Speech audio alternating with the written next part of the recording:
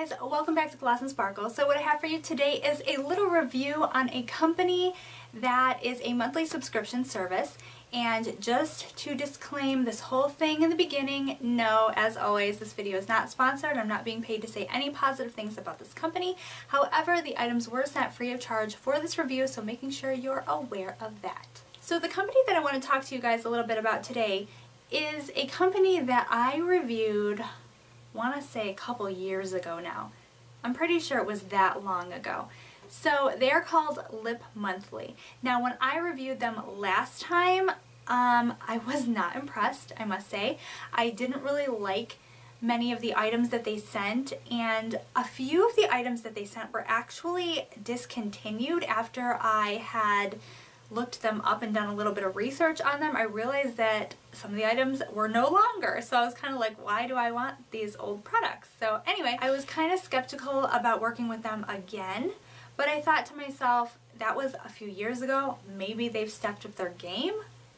And let me tell you, they really, really have.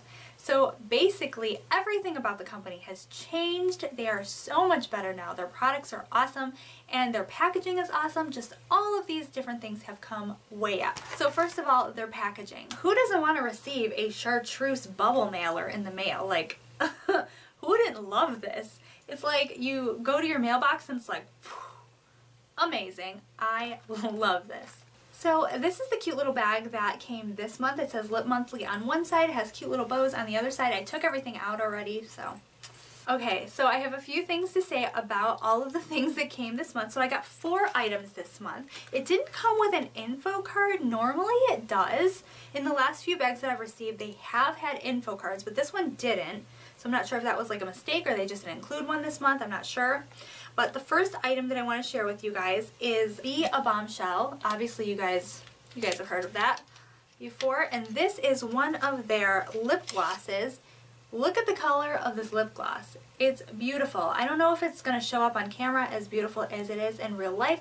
It is a neon, neon pink lip gloss and it is so, so pretty. Here's my gripe with two of the items in here and it has nothing to do with the product and it actually doesn't really have anything to do with Lip Monthly either. It's not their bad. It's, you know, all on the people who create these products. I'm not going to share the names of the products with you, of these two next products with you, because I don't think they're appropriate. And I don't really know what that is. That's a new thing that is kind of becoming popular these days. I feel like NARS was the first people, I don't know, that I noticed to have inappropriate names for their products and I don't know, I don't agree with it, especially because you know that younger girls are getting these products and they're looking at the names and I just don't know, I'm not, I'm not about that. So the next item has the exact same problem. This is from the brand Estate. This is a pout stick. So again, this lipstick is very pretty. It's kind of like a burgundy color with brown tones to it. And even though the packaging seems a little bit flimsy, I like the fact that it's that powdery white. I don't know, I just think this is kind of a neat feeling packaging. But again, the name, no, no, we're not, I'm not featuring that. I don't think that's wholesome at all. So. So that's it for the interesting named products. This next one is from a company called So Susan Cosmetics. Now I have used their products in the past. I wasn't like hugely hooked on them, but I didn't think that they were bad either. They have come out with liquid matte long wear liquid lipsticks, so I'm super excited for these. So it is in the shade Pumpkin. See? See how cute that name was? You know, and it goes with the product and it's not inappropriate, you know. So anyway, um, so anyway, this is really, really pretty. I'm super excited to use this. This is kind of like an unboxing. I don't really, I haven't tried any of these products out yet, so I'm not sure if this dries matte or if it stays glossy. I'm not really sure, but it says liquid matte, so I'm hoping that it is matte without being too drying because that's always the problem with liquid lipsticks. And I really like the color though. It's beautiful for fall, and I think that late summer I could also get away with this. So I'm super excited for this, and the packaging feels really, really nice. And the last last product from this particular um, Lip Monthly bag is the Chapstick Hydration Lock. I've actually seen this at the store and I was curious about it. So it has a day side and a night side.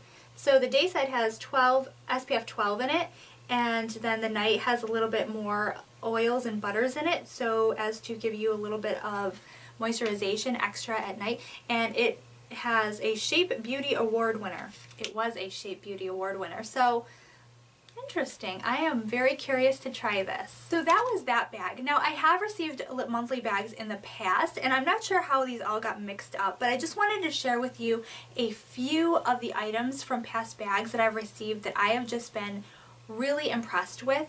So first of all, even though it is a lip product bag, sometimes you're going to get items that don't pertain to lips, like as a little extra bonus. And this was one of the things I received. It is the Seven Wonders Amazonian Acai Anti-Pollution Mask. Woo, that was a long, long name. but I was really excited to receive a mask and a lip monthly bag. I just thought that was really, really nice as a little bonus. So I was excited and I wanted to share it with you guys. And then also, sometimes the brands are higher end. And I wanted to show you an example of that. This is something that I got in two separate bags. These were both from Cargo. This was an eyeshadow palette and this was a single eyeshadow. I just thought to get something from Cargo, like that's really, really good. So I just wanted to give you guys an idea of some of the high-end brands that you could receive in some of these bags. The last item that I wanted to share with you from a random lip monthly bag was I think this was like the first lip monthly bag I ever received after being away from them for so long. This was from the brand Ola Neon and this was a liquid lipstick in the color Lavender Soul. Look at this color you guys. It's like a plum, a mix of a plum and a lilac with this gold uh, detailing. This stuff is so beautiful. I love the shade. I love the texture, the formula. It dries matte, but it's not too drying. It's kind of like a satiny finish. I just love this shade. I, I would love to check out more from Ola Neon because they are really, really good. This was awesome. And it is free of parabens and gluten as well. So that's actually really, really good. So yes, I just wanted to share those with you. So that was my updated review for Lip Monthly. I hope you enjoyed it. I will leave all the links you need in the down bar below so you can head on over there and check them out and see what they're all about. So I thank you so much for watching Gloss and Sparkle. If you like reviews like this, don't forget to give it a big thumbs up and subscribe and click that little notification bell if you haven't already. And as always, I thank you so much for watching. I'll see you next time. Bye!